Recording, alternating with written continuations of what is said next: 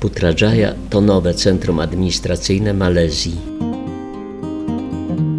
Zwiedzanie rozpoczynamy od meczetu Putra, jednego z największych w Malezji.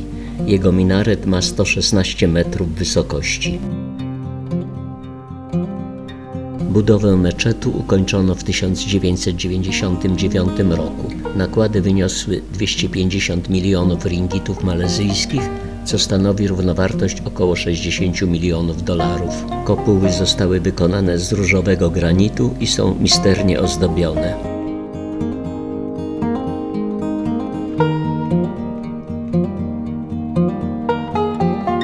Meczet może pomieścić 10 tysięcy wiernych w sali modlitewnej i dodatkowo 5 tysięcy na dziedzińcu.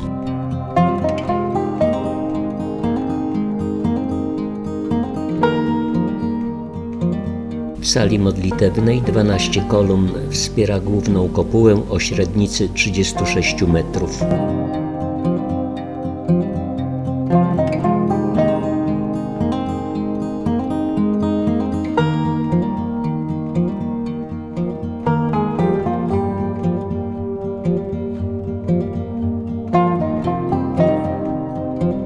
Meczet wzniesiono na brzegu jeziora Putrajaya, a na wzgórzu obok wybudowano siedzibę premiera malezyjskiego rządu.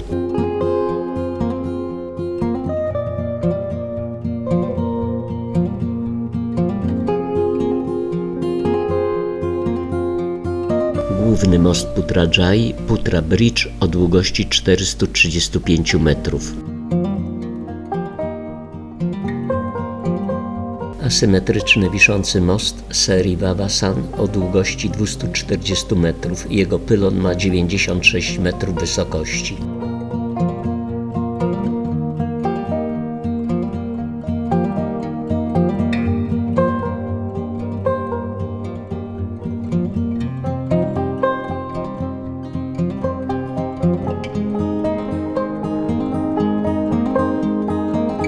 Na jednym ze wzgórz znajduje się Międzynarodowe Centrum Kongresowe. Jego sala plenarna może pomieścić 3000 osób. Ze wzgórza roztacza się rozległy widok na Putrajaję. Putrajaya jest nowym, starannie zaplanowanym miastem. Idea jego budowy powstała w latach 80., a przystąpiono do jej realizacji w połowie lat 90. ubiegłego wieku. Do 2012 roku przeniesiono tu z Kuala Lumpur większość ministerstw. Kuala Lumpur jest nadal stolicą Malezji, a Putrajaya jest siedzibą rządu.